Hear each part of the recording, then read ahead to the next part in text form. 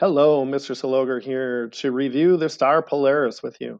We want to take a look at three things. Locating the star Polaris, also known as the North Star.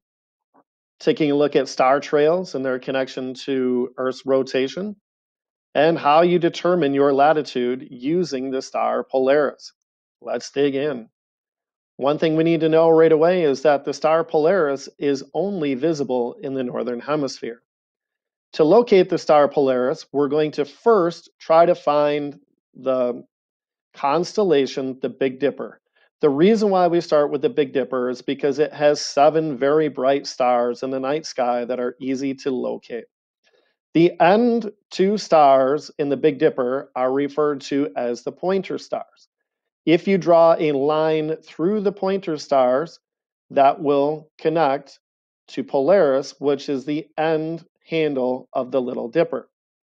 One of the tricky parts about locating Polaris is that the star Polaris will appear to stay in the same position. However, the other stars will appear to move around Polaris. At a different time of night, the pointer stars might be located over here. No problem, draw a line through the pointer stars and they will still guide you to the location of Polaris.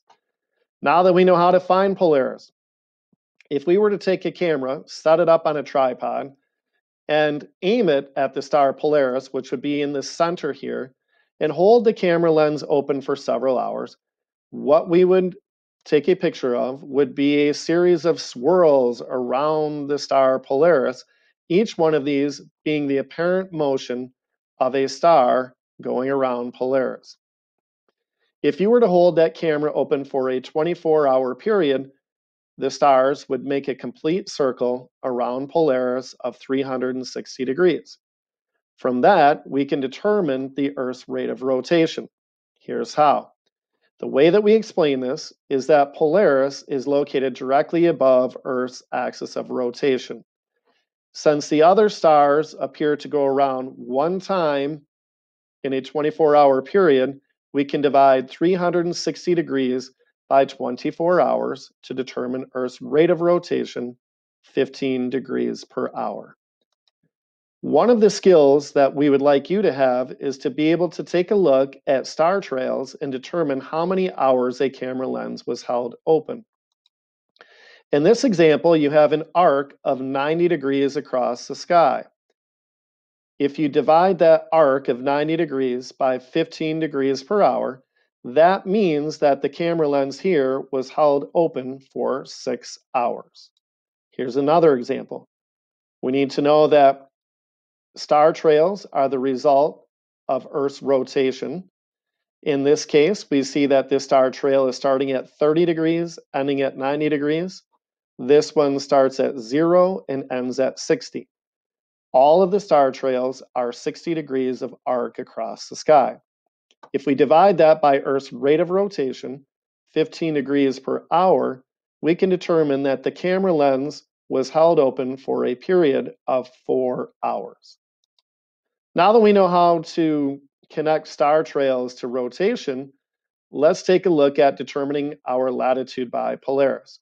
Remember, you can only see the star Polaris in the Northern Hemisphere. The way that we determine our latitude is we need to measure an angle from the horizon up to Polaris. That angle is called altitude. In this example, soccer star Sydney LaRue is looking north and up at an altitude of 43 degrees north, she observes Polaris.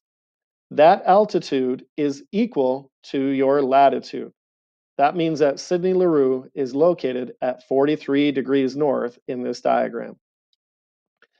In this example, the observer sees the star Polaris at an altitude of 55 degrees off of the northern horizon. That means that this person is located at 55 degrees north. In this example, the observer is located at 32 degrees north with Polaris being observed at an altitude of 32 degrees. I hope this helps you to review the important concepts related to Polaris.